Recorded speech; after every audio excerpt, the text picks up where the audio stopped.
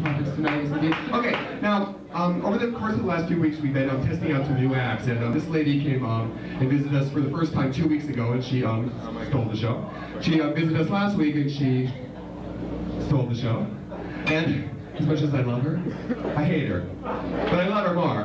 And um, I want to welcome her to the stage tonight. Ladies and gentlemen, please welcome to the stage. We're glad to call her a cosmetic, yes indeed. Please give it up for Portia.